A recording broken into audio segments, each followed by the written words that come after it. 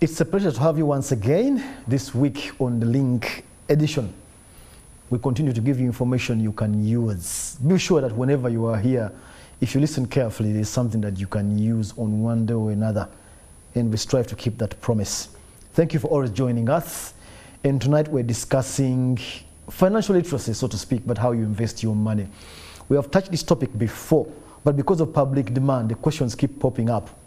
People who have got their um, 20% NSSF and then they have got a windfall or they have sold land, land and they have a chunk of money and they, are, they don't want to burn it down through uh, expenditures which they will regret.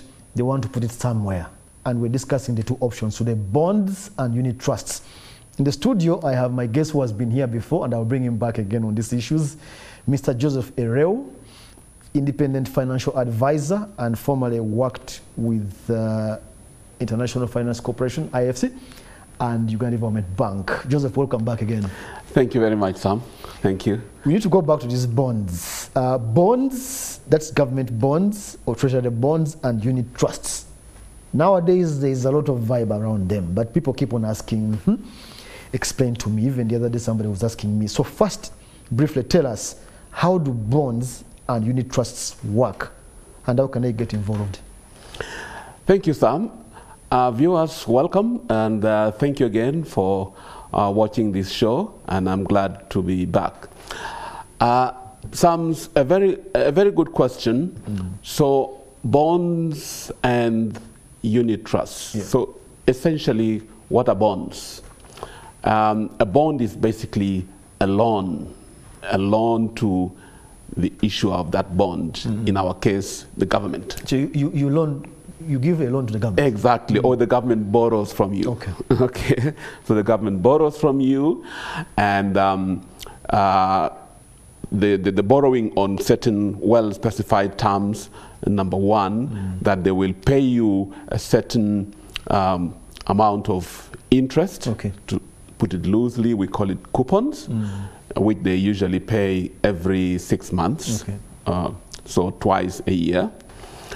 And the, the interest rate is usually specified and fixed, mm. okay? And then number two, after a certain agreed period of time, so it could be 10 years, yeah. could be 20 years, it could be two years, yeah.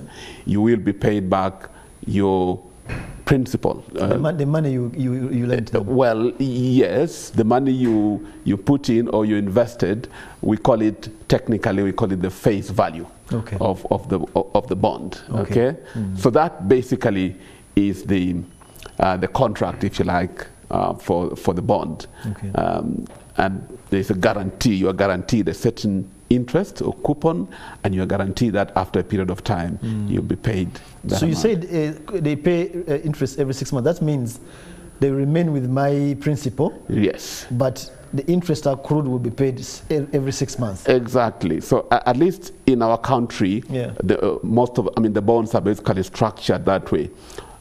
In there are other types of bonds, but for purposes of our country in mm. our market, that's how they are structured. So they hold on to your money for that period of time yeah. agreed, and then but every six months they pay you that that coupon. So if they said uh, the annual interest rate is say um, 10% yeah. or 15%, so that means after six months, they will pay you half of that. 5%. Okay? Mm. 5% to 6 or 7%. Yeah. Another six months, they will pay you the other half. Mm. Less the taxes, the withholding taxes. We'll come to that issue. okay? Yes. Let's go to unit trusts. Yes. Mm. Now, a unit trust is an investment vehicle. Yeah. Okay? Through which several investors, small, medium, even large-scale mm. investors. They could be uh, circles, investment groups, individuals. They pool money. They aggregate, they pool money together mm. under the management of a fund manager. So there's a manager? There is a manager. Mm. Okay, very important. There is a manager. Um, so that manager has the responsibility then of well, of course, managing the money, but more specifically, investing that money mm. on behalf of and for the benefit of all the investors in proportion to the amount of money each investor has put in yeah. And the amount of time for how long you have put in that money. So, of course, the more money you put in, the more uh, rewards you get. But also, if you put the money and leave it for a long time, then you are bound to, to benefit a lot more. Mm, So, so a- amount and time. Yes, are very, very crucial. Very, in fact, y- yes, the amount of and time are very crucial. You can also say, of course, the, the interest rate or the rate of return is important. Yeah. But however good the, the rate is, if you put the money today and next week you pull it out, well, you're not going to, to benefit a lot. Mm. Okay? And uh, of course, like I said, uh, the, the amount. Now, this money, as I said, number one is managed, very important. Yeah. But number two, it's regulated mm. by the Capital Markets Authority. I mean, the, the investment is regulated by the Capital Markets Authority.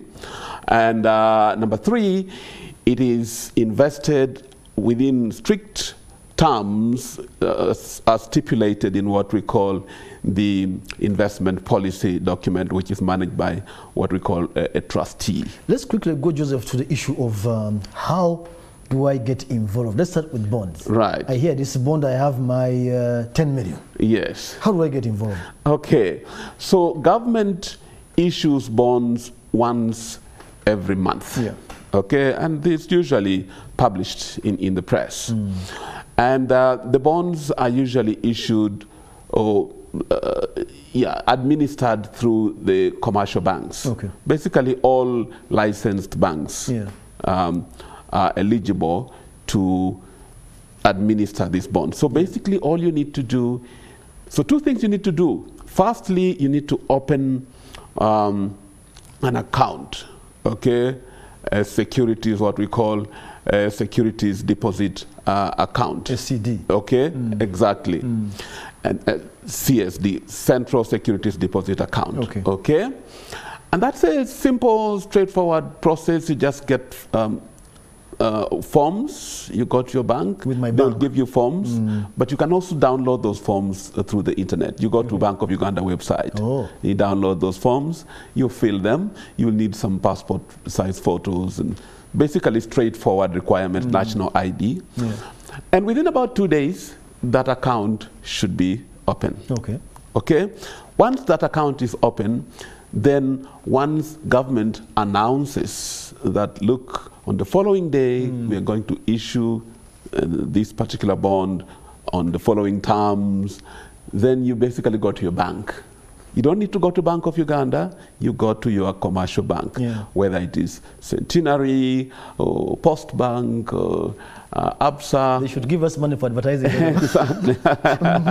exactly. Yeah. They then will be able to basically bid for the bond on your behalf. Okay. Okay. Um, so. Uh, some of them will charge you something small. Some will not charge you anything. They will.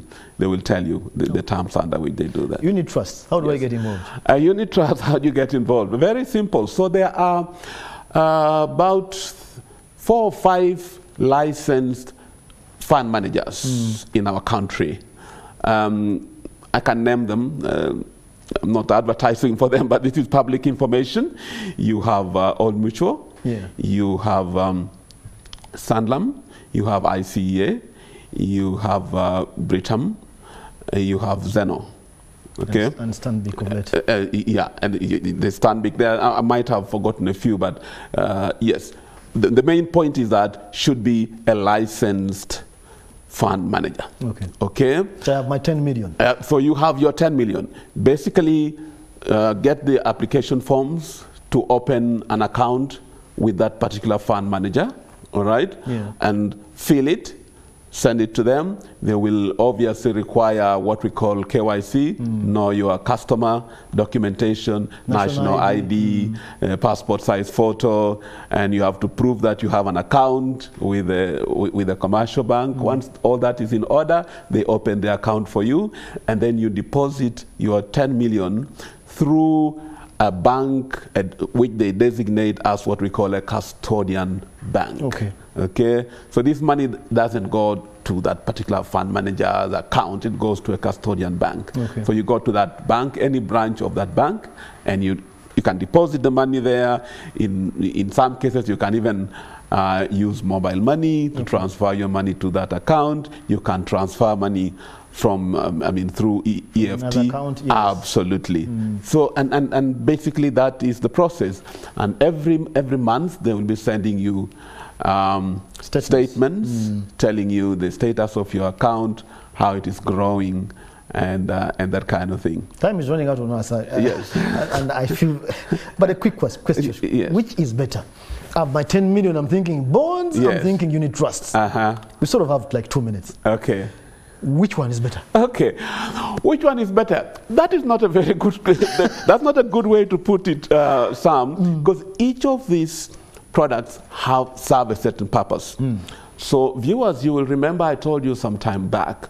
The first, most important question you should ask yourself is why? What is ob- the objective hmm. of me investing this money? Because that will determine whether you should buy a bond or unit, Unit trust, trust, or hmm. indeed something else. Yeah. Okay, so if you are looking for a bond, usually the reason for buying a bond would be um, to get regular, predictable income Mm, every six months. every six months. So that's why a bond would be good for a, a retiree. Uh, you don't have a salary anymore, okay? But you, you are used to a well planned financial life. Yeah. So a bond comes in very perfect, okay? So regular income. Number two, um, a bond will be useful if you want to plan what we call liability management. That means, suppose you have, say, school fees, you have to pay. You know that every semester, which is about half a year, Yeah. you have to pay a certain amount in school fees. Let's go to unit trust. Exactly. In one minute, Joseph. exactly.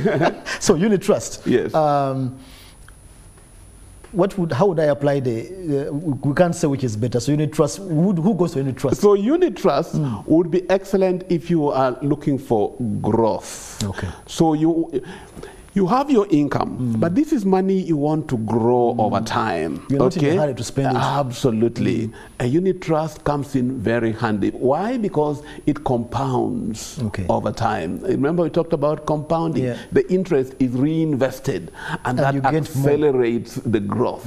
So a unit trust is excellent for growth purposes. Thank you very much, John. I cut you short. it's I feel very bad. Uh, viewers, honestly, uh, you can rally for me to get more time so that you get. We have not discussed the risks of going to which, which one as we wanted to do, but as I promised, I brought him back. I'll bring him back more on these uh, topics. Probably we'll do a special session online for you if we find uh, the opportunity. That was the link. Thank you for joining us tonight.